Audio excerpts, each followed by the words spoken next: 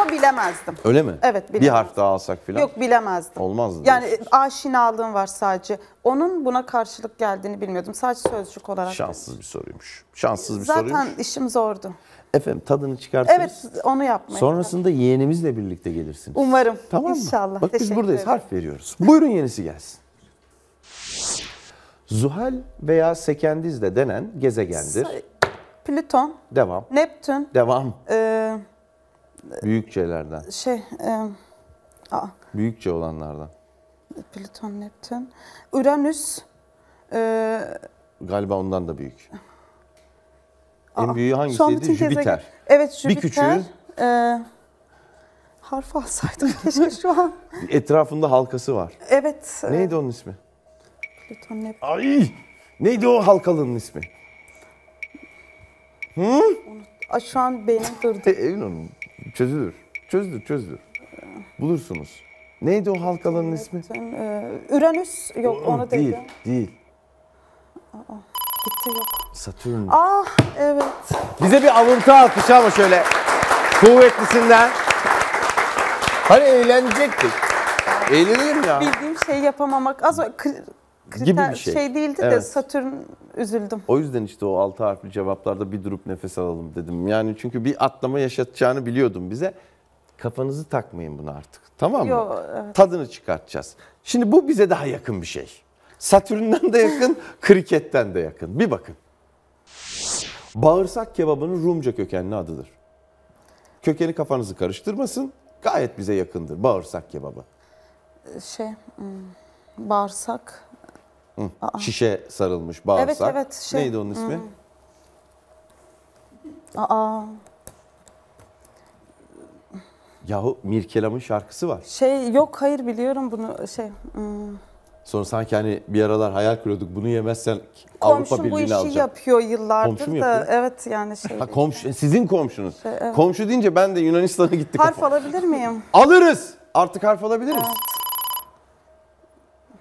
Harf. Bir tane daha. Ç ile bitiyor. Kokoreç. Kokoreçtir o. 500 puan kazandı. Onu biz unuttuk ya. Evet kriketten sonra biz harf alabiliriz. Niye kendimizi bu Evet kadar sıkıntıya ya. sokuyoruz? Buyurun gelsin yenisi efendim. Genel sorunlar üzerine yeni ve kendine özgü fikirleri olan kimse. Mütefekkir derlermiş eskiden. Türkçesi ne olabilir? Ne diyoruz? Öz. Bir harf alalım mı? Evet. Buyurun. Yani filozof değil de ne diyeceğiz Türkçe? Harf alayım. Eski bir kelime arıyorsunuz öğretmenim. Aramayın Arapça kökenlisini. Ne yapar yani? Oturur, fikirlere dalar. Tövbe yarabbim. Hindi gibi hindi. Düşünce. Düşünce. Düşünce değil o. Kişiye ne diyelim? Düşünceli. Düşünceli başka bir şey ama. Bunun kendine özgü fikirleri var. Mütefekkir. Filozof değil de yani. Ne yapar bu adam? Düşünür. Düşünür. Düşünür.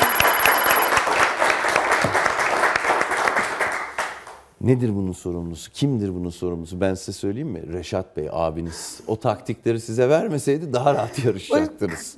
Şu an kızacaktır izlediğinde. Abi biz ona yani kızıyoruz. daha iyisini beklediği Rica için. ederim. Onun Evet. yüzünden. Çünkü işte aklınızı o karıştırdı. Hep evet. Daha Reşat Bey bekliyordum. sizi bekliyoruz buraya efendim. sizi bekliyoruz. Buyurun yenisi gelsin.